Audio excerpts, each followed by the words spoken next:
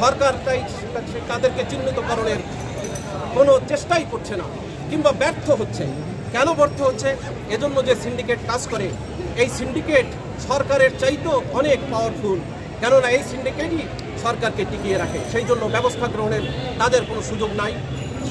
Total অব্যবস্থাপনার মধ্য দিয়ে total market এখন সাধারণ মানুষের নাগালের বাইরে চলে গেছে বন্ধুগণ। আমরা দ্রব্যমূল্য লাগামহীন ঊর্ধ্বগতির তীব্র প্রতিবাদ জানাই এবং সরকারের কাছে দাবি জানাই, তারা তাদের এই সিন্ডিকেটকে ভেঙে দিবেন এবং দ্রব্যমূল্য মানুষের, সাধারণ মানুষের, আপনারা জানেন, আমাদের দেশে এই মুহূর্তে হিসাব অনুসারে প্রায় তিন কোটিরও মানুষ, তিন কোটিরও বেশি মানুষ গরিব, দরিদ্র সীমার নিচে বসবাস করে এবং তারও বেশি মানুষ দরিদ্র সীমাকে ছুঁই করে। তারপর বর্তমান বাজেট সব কিছু মিলে মানুষের অবিশ্বাস তারা আর জীবনযাত্রা চালাতে পারছে না। সুতরাং আমরা মনে করি যে সরকার এই দিকে দৃষ্টি দেবেন। সরকার শুধু উন্নয়নের নামে মহা প্রজেক্ট উপস্থাপন করবেন এবং ঋণের উপর ভরসা করবেন, সেটি নয়। এদেশের সাধারণ মানুষ, খেটে খাওয়া মানুষ যাতে তিনবেলা খেয়ে বাঁচতে পারে সেই দিকে দৃষ্টি দেবেন এবং এই লাগামহীন ঊর্ধ্বগতির প্রতি আমরা আমরা নিন্দা জানাই। আমরা মনে করি সরকার এদিকে দৃষ্টি দেবেন। দ্বিতীয় যে বিষয়টি, সেটি হলো বিরোধী দলের প্রতি সরকারের যে দমন নিপীড়ন নীতি, এই নীতির আমরা তীব্র নিন্দা জানাই।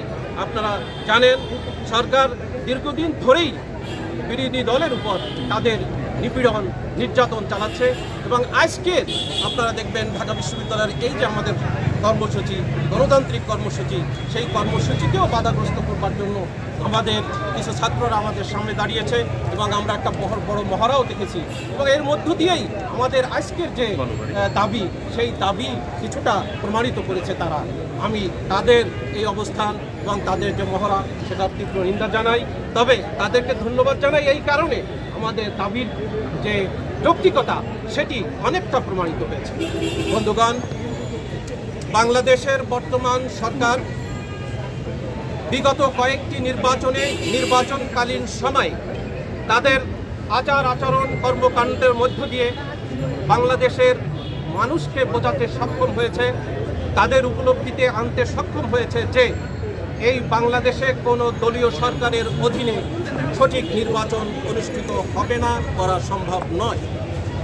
এবং এটি দেশের সাধারণ মানুষ বুঝতে পেরেছে বিধায় দেশের প্রত্যন্ত অঞ্চল থেকে শুরু করে রাজধানী পর্যন্ত সাধারণ মানুষের এখন একটি দাবি আমাদের গণতান্ত্রিক যে দাবি ভোটের অধিকার পুনঃপ্রতিষ্ঠিত করতে হবে। এবং সেই ভোটের অধিকার পুনঃপ্রতিষ্ঠিত করবার একটি পন্থা সেটি হলো একটি সঠিক নির্বাচন একটি ইনক্লুসিভ নির্বাচন। সেই নির্বাচন আমরা যদি পর্যালোচনা করি দু সালের যে নির্বাচন হয়েছিল সেটি ছিল আহ, মঈনুদ্দিন ফখরুদ্দিনের একটি পাতানো নির্বাচন।